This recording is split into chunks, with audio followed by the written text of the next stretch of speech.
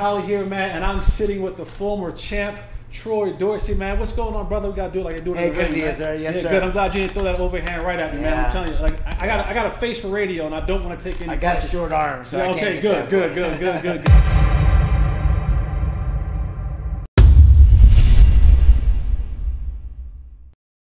Boxing wasn't your first love. No, sir. No, your, your first love, man, it, it was karate, it was taekwondo, man. And so we'll, we'll start from there. You got into that at, at an early age. What what led you to get into that? What what what you know, most kids do baseball, they do basketball, they'll do football, but you said, nah, I want to go kick and punch. What what was that in your life that led you? Whether it was a whether a parent, a coach, a big brother, big sister, anybody in your life that led you to that path of wanting to do kickboxing and karate? Yes, sir. So I started karate in, in 1974. What I really liked about karate is uh, fighting. You know, I don't want to sound I don't want to sound like you know fighting. I'm a tough guy. But anyways, yeah, uh, fighting was uh, what I really enjoyed doing. And we're sitting right across the street from where I started. I started karate in 1974 across the street. You know, some people say that you come full circle. Yeah. Not me. Yeah. I, I come full circle and across the street. That's, So- that's that's symbolic, right? It's like where you know nowadays on social media they'll have like where it started and how's it going now, right? So it's like you're on the same block of, of where it started for you right here in in Texas, and you said you like fighting. I guess I'm weird. I don't know. No, but but, Yeah. but what in your like what was in it? Because everybody has these things within them, right? That makes them tick. That makes them, you know, singers. Why do singers love to sing? Why do dancers love to dance?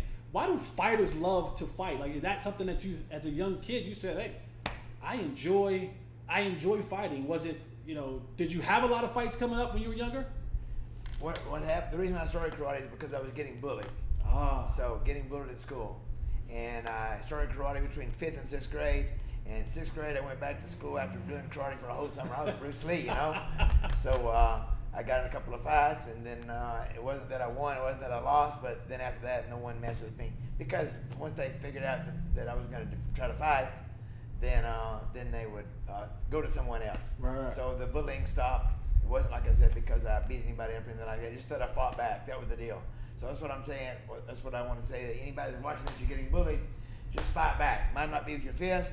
It might be your words. Might be your action. Whatever. We all got to fight back. and that's that's coming from an experienced place, right? That that's life has happened, and now you're talking about someone sitting here, 58 years old, and and, and that's words of wisdom for those who may be out there being bullied. Uh, one thing that you said, you said press forward, and so when you got to that point, you said I was bullied.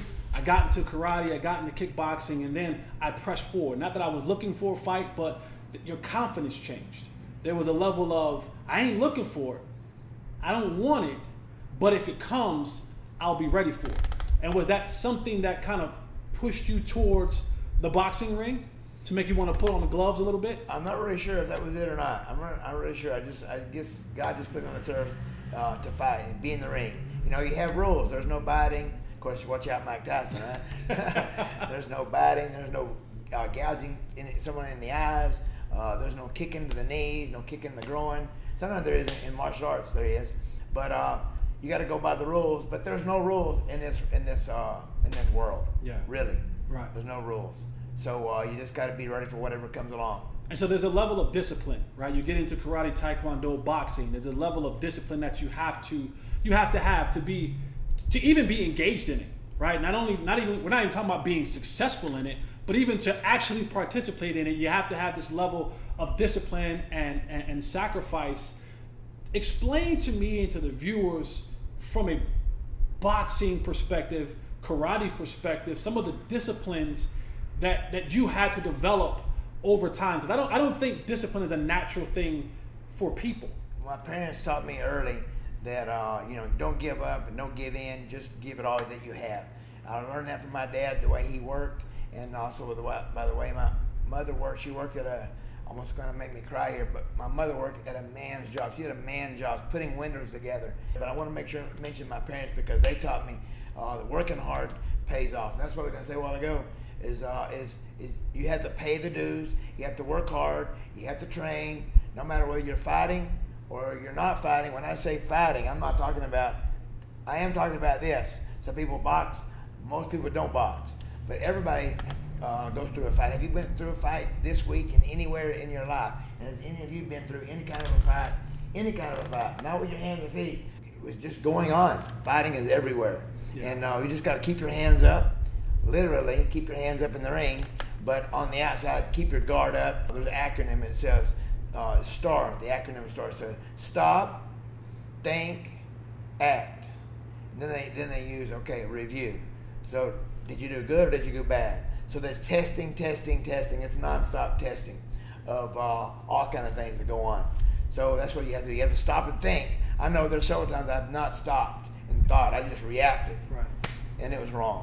You started boxing when boxing boxing in itself is a brutal sport, right? And and but you started in a time where it was like we ain't gonna do all this dancing around the ring. It ain't gonna be all this shoulder rolling. It's not gonna be all this counter. hugging. You don't know. It ain't gonna be all that holding and hugging. Like you started at a time where it was almost just two men standing in the middle of the ring and, and we just going we going we to slug it out and we to see who got the toughest chin and, and the best man winning you've been in some fights like you you you you you fought champions Yes, across the board you fought hall of famers across the board and and just just take me through that journey um, of Troy Dorsey as he's getting ready for a boxing match.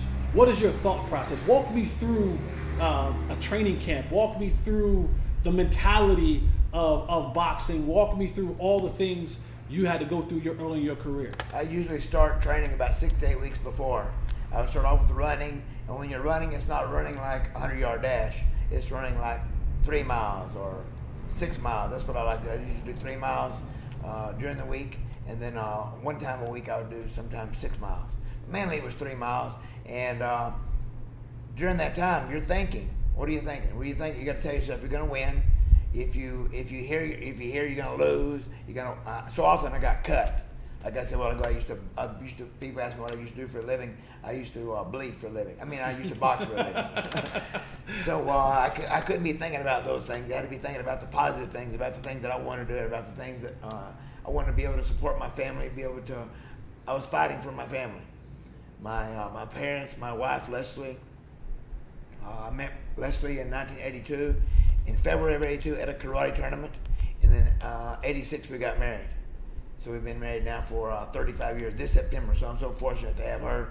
She took care of our kids. She cooked my meals. For a long time, I starved myself fighting. So I would eat a baked potato once a day, or eat one thing once a day, just so, and, and not drink water. And back then, we didn't really know. Right. But uh, I, I came to find out that yeah, you got you have to drink some water. Matter of fact, let's start off with 64 ounces minimum. It, it just uh, is getting there and get in there and do it. You know, whether you're a plumber, whether you're a doctor, whether you're an attorney, whether you're a stay-at-home wife, stay-at-home mother, stay-at-home dad, whatever it is that you do, you got to just tell yourself that you can do it, and you got to do the best job that you can do. That's what my parents always taught me: do your best, and, and you won't look back over your shoulder uh, and, and the regrets. Of course, I have some regrets, but most of the time it, it's just all pushing forward and uh, doing what I could do to to make the very best uh, for my family.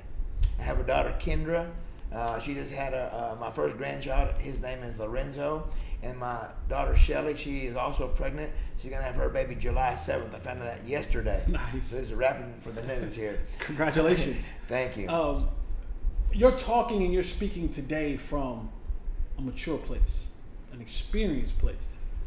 If you could take Tony Dorsey today and all that you've I would change come my name through- to Troy, though. I'm sorry, Troy. I'm sorry, Troy. You got turning the mind. Yeah, Troy. we were talking earlier. Troy, um, if you could take experienced, knowledgeable you today and go back to talk to young Troy, inexperienced, green, wet behind the ears, what would you tell them? uh, slow down and uh, no drinking, no drugs, and stay away from anything that might be uh, that might hinder my goal.